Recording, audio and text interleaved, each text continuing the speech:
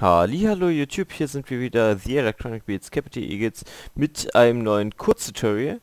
Denn wie macht man denn ein Effekt, wie zum Beispiel Wind oder Rauschen oder was auch immer, das hat uns letztens DJ Tunefish vor genau 33 Minuten, um genau zu sein, gefragt, hey, könntest du mal ein äh, Tutorial machen, wie man so Effekte wie Filter oder Wind einbaut?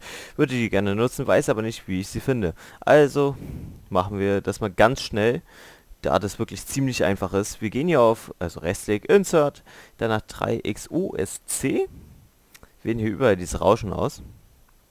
Und dann haben wir bereits diesen Windeffekt, wenn ihr so wollt. Hört sich so aber noch blöd an, so wie Ameisenkrieg auf dem Fernseher. Deshalb haben wir zwei Möglichkeiten, also mehrere Möglichkeiten. Wir automatisieren das Ganze einfach mal. Gehen hier auf Rechtsklick, Create Automation Clip und dann fügen wir das noch hier ein also Pattern 1 eben. Ah, hier oder hier ist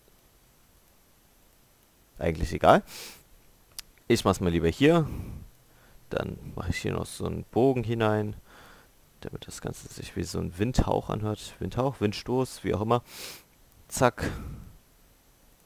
Jetzt füge ich hier noch ein zweites hinein und dann würde sich das ungefähr so anhören. Oder ihr macht das Ganze langsamer, wie es euch beliebt.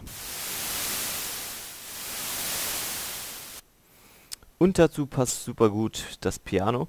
Ihr könnt das Ganze natürlich auch über den Mixer machen. Geht hier rauf, ladet es in einen freien Mixer-Channel hinein. Haben wir jetzt den Insert One, weil wir eh keine Instrumente hier benutzen. Und dann können wir das hier noch mit Create Automation Clip machen oder hier einfach leiser stellen. So, ich hoffe, es hat dir geholfen, DJ Tunefish. Ich hoffe, es wird auch euch helfen, den anderen Zuschauern. Viel Spaß, tschüss, The Electronic Beats, Capital Eagles.